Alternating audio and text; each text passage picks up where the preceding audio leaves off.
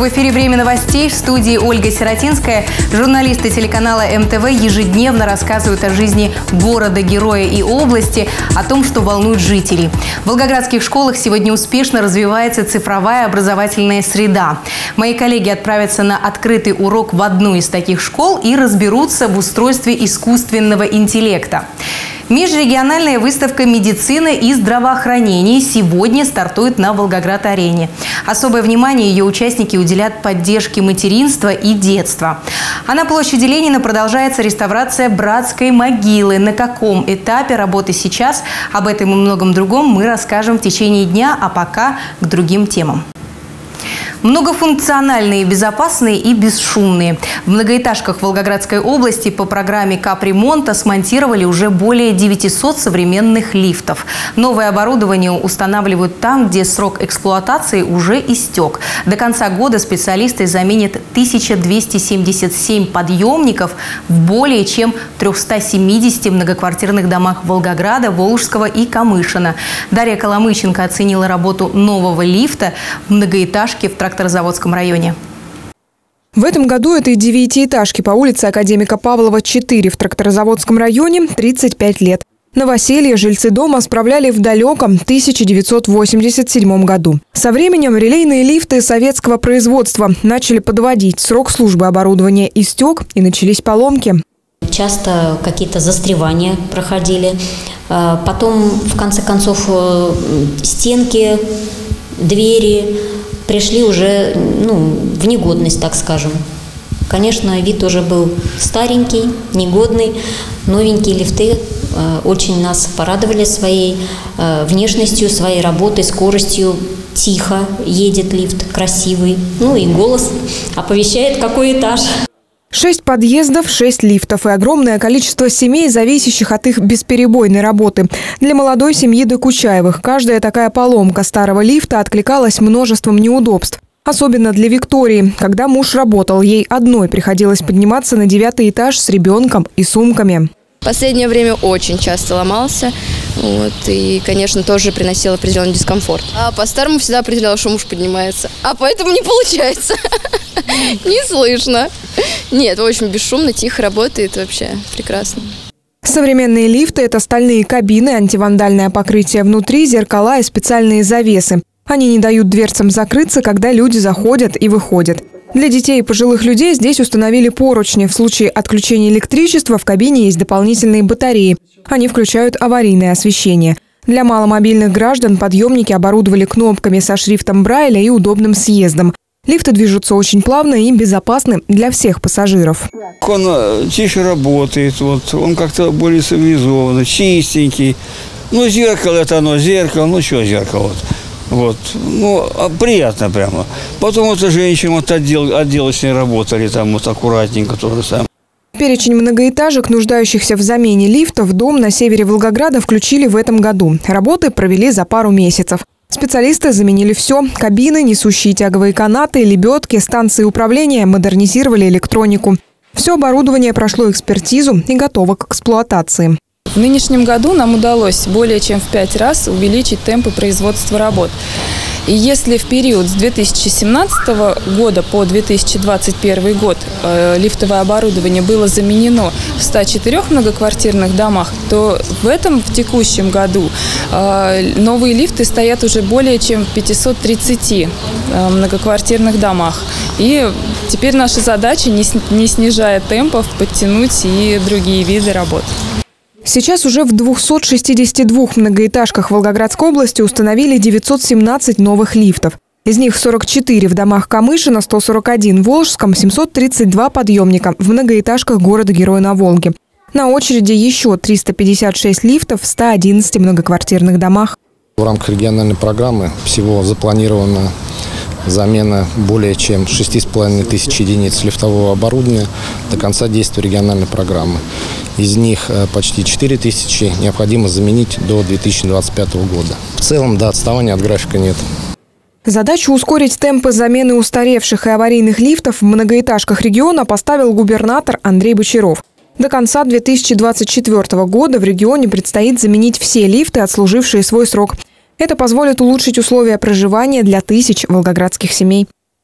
Дарья Коломыченко, Глеб Волков. Время новостей. Новые тарифы для проезда на общественном транспорте. В какие города чаще всего летали жители города-героя в этом году и в каких районах Волгоградской области отопительный сезон уже стартовал? В эфире краткий обзор самых читаемых публикаций портала mtv.online.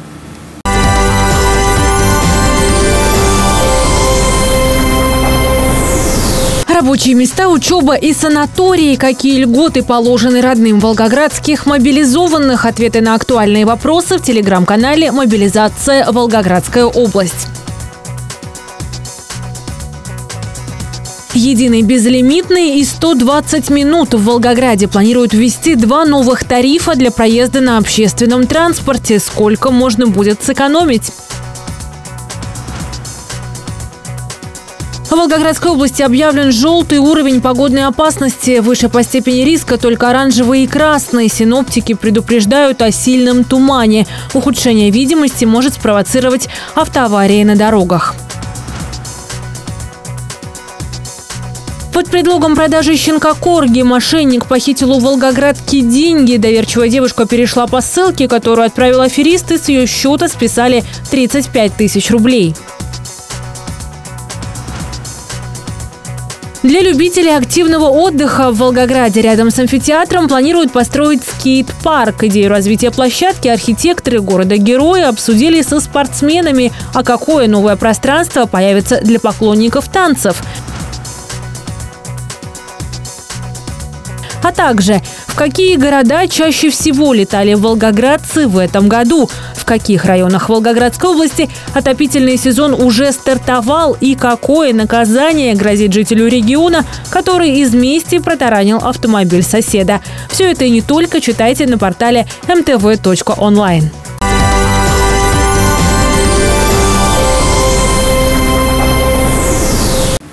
Уже на ближайших выходных, а это 15 октября, Царицынская опера покажет премьеру оперу буфа итальянского композитора Джоакина Россини «Сивильский цирюльник». Комический спектакль ставит режиссер из Санкт-Петербурга Владимир Акулов. Сейчас в театре завершаются последние репетиции. На сцене монтируют главную декорацию – двухэтажный дом, в котором развернутся главные действия. Мои коллеги побывали на подготовке и готовы рассказать, почему вечер субботы нужно обязательно торжественно провести в Царицынской опере.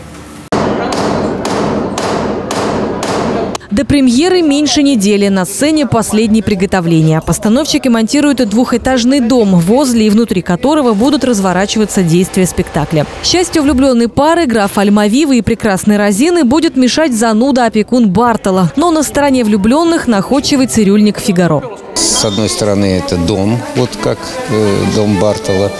А если развернуть на 180 э, градусов, то там получится уже комната комната Розины на втором этаже. Почему здесь вот такие большие замки э, появились? Ну, это замысел э, режиссера, что э, Розина должна быть под замком, что он за ней следит. Конструкцию высотой 4,5 метра и длиной 5,5 изготовили в мастерской Ростова-на-Дону. Волгоградским мастерам остается аккуратно собрать. Декорация массивная, ведь солистам предстоит активно перемещаться по ярусам, но компактная и мобильная. Во время действия ее будут передвигать и разворачивать.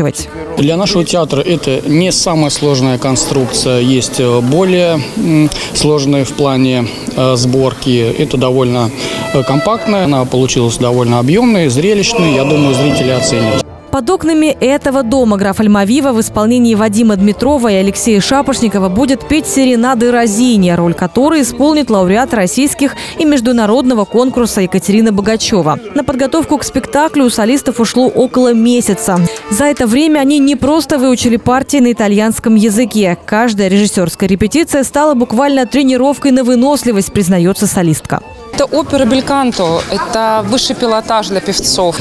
Вот эти вот все виртуознейшие арии с огромным просто диапазоном, все эти сцены наполнены просто безумным количеством мизансцен. Мы там и бегаем, и прыгаем, а, и сверху, и вниз, и, в общем, кверх ногами, и, в общем, лежа, и, и кувыркаясь, в общем, и все это вот при этом нужно очень красиво петь.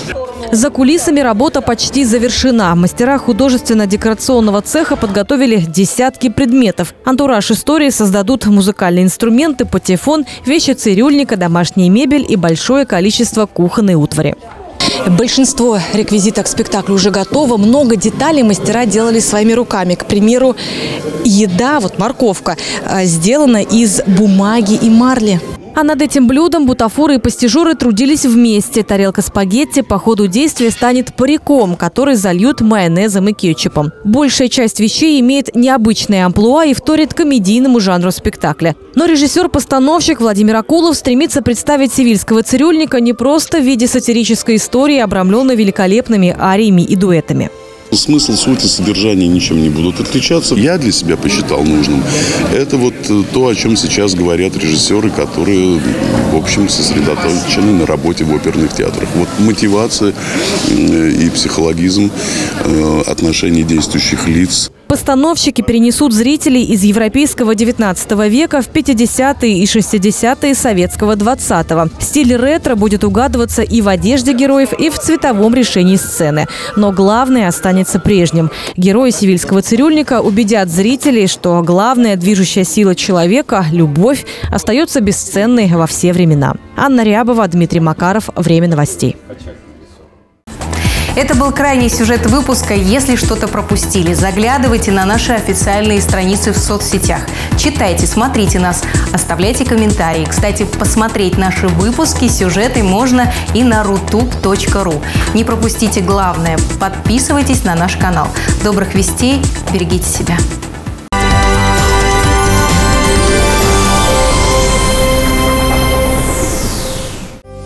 Сегодня в областном центре пасмурно небольшой дождь ожидается в течение дня. Ветер западный 5-6 метров в секунду.